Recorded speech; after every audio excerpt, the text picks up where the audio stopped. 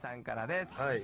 えー、あかねちゃん、からの森さん、国塚のガールズトークが聞きたいです。からの森さんがえぐい下ネタを話しそうですが、はい。この3人がガールズトークをするのはレア感があって面白そうだと思いました。うん。ということで、怖いなあガールズトーク聞くのって。ね、次回あれですよね。空の森空の森役の沢城みゆきちゃんが来てくれるじゃないですか。はい、うんだから、そうですよ。ね、こうそういうガールズ的なものもうん、ありですねあ。ったりです。でも、もう2巻の、うん。あ、2巻っていうか2話の DVD とかブルーレイに、あの、はい。台本がおまけについてるじゃないですか。はい、設定資料そう、あれ見たら、ちゃんとあの台本上に、その国塚と、あの、空の森が、成就をした後っていう表記がこうあるので、多分もうファンのみんなも、ようやく気づいて、はい。あれ意外と気づいてない方多いんですよね。あーなるほどまあ、セリフとかにはなってなくて絵だけで見せてましたからね、はいはいストッキング履き直す、そうです、そうです、そうです。せっかくだからセクシーな、うんお色気のあるような、ここでしか表現できないことをね。できないような、うん。